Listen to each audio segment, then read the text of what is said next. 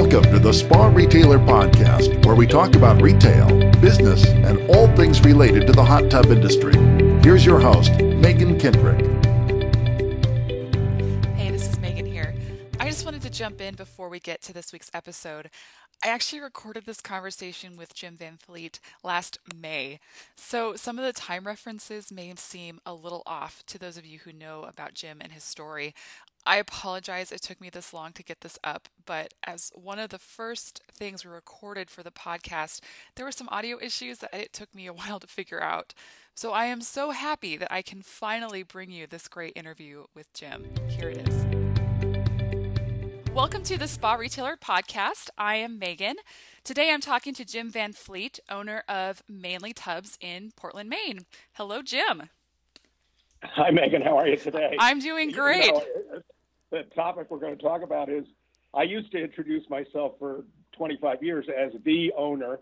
I still do when I make a mistake, but now, as it turns out, I'm one of 40 owners of Mainely Tubs. Yeah, exactly. I mean, as some of you may have heard, Jim recently launched an ESOP, an employee stock ownership plan. Um, so that's what we're going to be talking about today. But before we get into kind of the nitty gritty of that, uh, could you just tell us a little bit about how you got into the hot tub industry for those who don't know? What's your origin story as it is? Thanks. It, it's um, probably not an unusual one. Um, I worked as a banker out of college for seven years, went back and got an MBA. Um, worked for a land conservation forestry outfit for 10 years, then a small um, business, mapping business here in Maine uh, for oh, five years as their CFO. And um, the entrepreneurial bug bit me when I, uh, a friend of mine happened to find that uh, a small little hot tub store in Portland, Maine was for sale. He thought I might like to buy it. Turns out he was a realtor and he got the listing and and uh, blindsided me by saying, "Hey Jim, you don't need to buy a hot tub. You need to buy the company." How long? So that in itself, it's a fun story, but that was. Uh, uh, 25 years ago now. Yeah, that's what I was going to ask. So you have had this store for 25 years. Yep, I, I, I guess next year is the 25th year uh, precisely. But uh, I bought an existing business. It was just a small little one and a half person business uh, that had been started in 1978. It was the first business ever in the state of Maine that had been called Mainely something, M A I N E L Y, using the state of Maine, in this case, Mainely Tubs. So, so it was a fun little opportunity to see whether or not, having worked for others uh, my entire life, whether I could actually work for myself. so an ESOP, um, you know, as someone who has their MBA, this is something that you definitely will be much more well versed in than than I am. so I'm glad that um, I'm glad that we have you to help guide this conversation. Um, can you? It's certainly helpful. Um, many business owners are already on top of their kind of financial world, and it does help to know the ins and outs of your company's finances. Um, and and that often happens with growth because you have to talk to bankers or you have to talk to other financial people or vendors. So a lot of owners are already predisposed and probably have some of the skill sets that are necessary in order to study it properly. Yeah, you would imagine so. Um, could you just explain what exactly an ESOP is um, and kind of why it was something that you thought was a good option for your company? Um, absolutely. An ESOP actually stands for Employee Stock Ownership Plan. Okay. And it's it's a it's another um, ERISA sponsored opportunities that large companies and small have. One of the largest uh, ESOP uh, employee owned companies in the country is Publix Supermarkets. It's a uh, it's not probably national, but it's um, a regional big shopping um, food shopping center, sure. and it's owned by all of its employees. And there are probably 50 ESOPs um, companies that are owned by their employees in the state of Maine. So I had some uh, some pre knowledge of other companies' experience, and I researched that with some of those companies so I could understand its applicability to me. Um, but there's a certain minimum threshold that's necessary to be able to consider an ESOP in the first place. Um, there needs to be kind of a minimum size. Many of uh, the experts in the field will tell you you need somewhere between a, a four and five hundred thousand dollar payroll in order to set up a proper ESOP and to have the financial underpinnings of a company to be able to buy the consultants necessary in order to do an ESOP.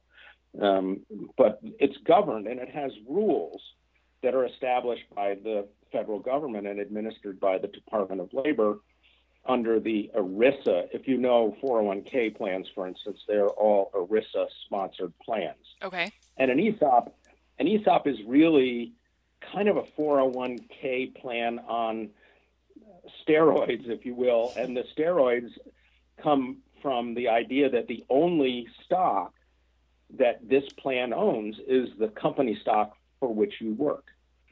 So there's a trustee involved that negotiates on behalf of all of the employees to ensure that the owner who's selling the business does so at an arm's length transaction and the employees aren't overpaying for the company and the owner has to negotiate to be happy that he is assured that uh, he's not being underpaid for his company. So it's a, a fair market value transaction occurs with an independent trustee who has valuation folks and and so it can be um, a drawn out. It took me uh, probably eight months in order to do it, and my company was already at uh, at the time at over nine million in revenue. So we had the we had oh almost a two million dollar payroll. So we had the um, we were of the size that we qualified an important other consideration was that over the years, I'm almost 70, and so I have established within my company a group of managers who are responsibility who are responsible for certain areas, um, sales, um, um, administration, finance, a, a general manager. So I had an established management group who a valuation company and a trustee could see might be able to manage this business going forward if I weren't around anymore or if I retired. And I think that's a really critical piece because if you're looking for value for your business, then you must prove to somebody who is totally independent, who looks at multitudes of business uh, businesses that um, for this very purpose, that your company is a viable company whether you're around or not. So I would counsel other owners in our industry to carefully weigh the advantages of building up a management team um, who allow the company to be run without the owner to being there 100% of the time. So this is, you know, part of an exit strategy for you so that, you know, when you decide to retire and step away from the business, you have you have a plan in place. Um, were there other options that you looked at before you decided on on doing an, an ESOP? When did you kind of decide that this was the the way that you should go? Yeah, uh, great question. Um, uh, probably six years ago, I started to consider when I was um, approaching 65, um, I started to think about what might happen. I have two children, uh, one of whom has worked in the business for a while, but is seeking other pursuits. Just um, wants to set his own path. And congratulations to my daughter, the same. Um, so I had to start to think about what my options were. Oh, six years ago, I hired an um, an M and A firm to value the business. That's always a first and useful step, even before you start to engage in considering an ESOP, trying to get some sense of value and send some sense of the marketability of your company. And so I, I don't know, I paid twenty, twenty-five thousand dollars for a valuation um, of our company. And I started to, as a result, understand what our options were. That company advised me on how and who to market the company to if I were to sell it privately. And part of their advice was in our industry, we're a more a niche business than we are uh, a mainstream business. And so, as with many niche businesses, Megan, the, there aren't as many potential buyers who one know the details, the ins and outs of our industry, or two know enough about the product category or the services that we offer to, to feel comfortable. So the fact that there were limited options to sell it privately um, was one factor. Uh, a second factor has always been I've tried to be because I don't have commission plans. I have profit sharing plans historically in which every when we're successful, everybody shares in that success. And so I sort of have this philosophy that it's been now almost 40 people, you know, it's built up over time who have really made this company the success that it is. I, um, I, I, know there are a multitude of uh, hot tub customer co- companies in this country who think of themselves as the best retail hot tub company in the world. I happen to be among that group, and, and, so um, I, of course, in, encourage my people with those kinds of laudatory comments, and they work really hard and they work really smart. And you know, how in a small market do you become the largest volume hot spring store in the world 13 times? You know, in less than a half a million uh, population, with, and and have a market share that we have, unless those people weren't working really hard. Well, I felt as if they'd created a value in this business and they needed to share in that in some way that might be a win-win. And so that was part of my goal was to see if their jobs could be protected. Oftentimes in private industry, when there's an acquisition, the new company's management comes in, there are uh, jobs that are lost, there are management people who must move on. And, and so that doesn't necessarily bode well for the camaraderie and team that's left, or for the continuity of service to, in our case, 22,000 customers. Mm-hmm. So if you want to do right by your customers and your staff, this kind of transaction offers a win win win all the way around for the selling uh, shareholder, for the um, for the employees as well as the customers. And that's what I like best about it. I think one of our challenges in business is um, hiring good people. And that doesn't matter what business you're in. Um, in today's age, it's very hard to find good people. And an ESOP has yet another benefit because, and now that we're oh, four or six months into it, I'm learning from some of our new hires that that was one of the things they look at as they consider where to take a job and where to apply is that um, employee ownership is attractive to people who are looking for jobs who might be willing to look for a job that's longer than a year or two at a time.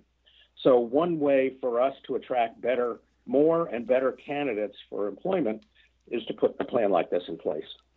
So it sounds like in a way it was kind of a natural progression of some of the things you already had in place with the with the profit sharing and just sort of your business philosophy it sounds like.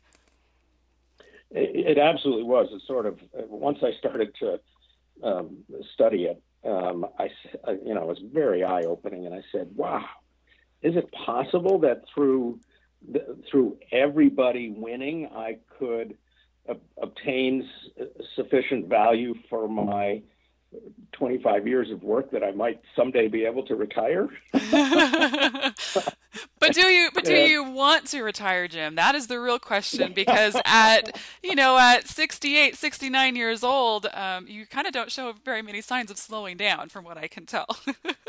well, I, you know, I really uh, everybody likes to be successful and everybody likes to and as I do, I like to lead a successful company. So that's very exciting. There's a lot of energy around our business, and so you're right. I you know, when the bank and the trustee said, well, we like your management team, but we think if we're going to get involved, and there was a bank involved here too. I'll describe that to you if you'd like. But um, if, if they said if we're going to loan you this kind of money, we think it's important for you to hang out for a while. Sure. Well, well the, the hangout turned into be a required employment contract, but you know that fit perfectly for me because I didn't want a cliff exit. I wanted a ramp exit. And sure. so this kind of transaction lends itself to that. It allows me to keep, continue to nurture people along to be uh, really good at what we do. Yeah, I imagine that that uh, the ramp as opposed to the cliff would be attractive to a lot of business owners because this is, you know, these businesses are in some ways your your children. You've you spend so much time and energy and and love, you know, building this thing, and I think it would be really hard just to, uh, you know, one day turn it over and that be it. Yeah, and and um, and the reality of selling a business, whether it's selling to an ESOP or to a private entity or a merger or anything, the reality is that an owner has to expect that he's going to have to take some financing back. And sure, there for good and strong companies, a bank might be willing to be involved, and some banks might even be willing to be involved to 30 or 40 percent of the deal. It, you know, there are personal guarantees that you have to try and negotiate but to the extent that um, you know there you're going to have to finance as an owner some of the transaction, it, it really does focus you on wanting, wanting to be sure that it does indeed continue to be successful, so that after the bank is paid, you can get paid. so it, you know it's like any uh, business sale where an owner takes paper back, and that paper you have to meet certain covenants in order for those um, principal payments to be paid. You talked about doing the the valuation of the business. Um, were there some other steps that you had to take before you even uh, started to get the ESOP set up? Were there things that you sort of needed to get in order in your in your finances or in your company, employees, anything like that that you had to do as sort of a next step? Well, the, the um, I think we we probably help set examples there. You know, one of the things I did years ago was with Watkins uh, Manufacturing is help and participate in this Gemini program, which is a program in which owners learn. I learned a lot about it in business, but also in school about what are the important financial criteria that are necessary in order to run a good business and and what are the mileposts and guidelines of doing so.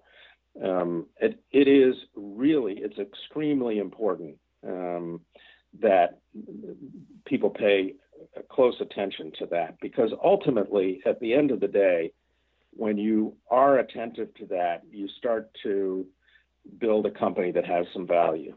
A company that has no, no management structure is loosely governed and sort of um, gets whatever it gets in the marketplace for sales any particular year is not a good candidate for an ESOP and for this kind of transaction. Um, you really, if you're going to build value in a company for everybody involved, there's a lot more rigor to it. And the Gemini Group was terrific. The membership there Dave Riley really keeps us focused uh, on all the proper things to do to lay the groundwork for how to build a good and strong and growing organization. We focus a lot on those things over the years. Okay, and uh, you know, people who are regular readers of the magazine um, will definitely recognize Dave Riley's name. He he's written a column for us for, for many years and has provided a lot of those um, tips and, and milestones and things for businesses to pay attention to in the magazine. And it's been uh, some of our favorite articles over the year have come from him come from him on those particular topics for sure. There are um, the, the, the financial benefits um, for uh, an owner are, um, of course, at, at some point, if you've got a bank involved, then there's some portion of the front end transaction becomes a payment for a portion of the stock and the balance with a note over time. So that with a good organization, you can in fact achieve what are average multiples in retail or better. You know, the average um, multiple by that I mean the price as a function of earnings. You know, think about like a stock in the stock market. Average retail multiples are roughly three times uh, earnings before interest, taxes, depreciation, and amortization. That term is called EBITDA. Um, That's not a mouthful. The, it is a mouthful.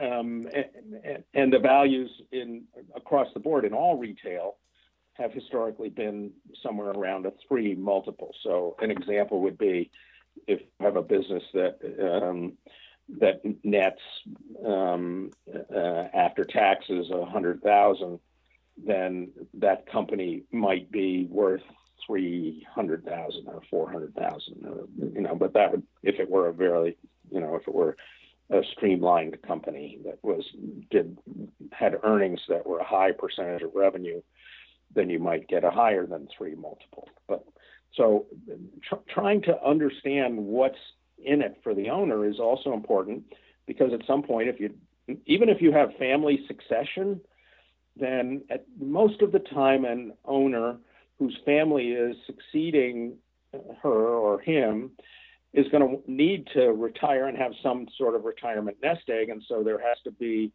some understanding between family members, between business partners, between buyers and sellers, whether ESOP or private, of what the value of the underlying enterprise is. And so to start to pay attention to that which I did, oh, 10 years ago with real seriousness of purpose, is a critical path.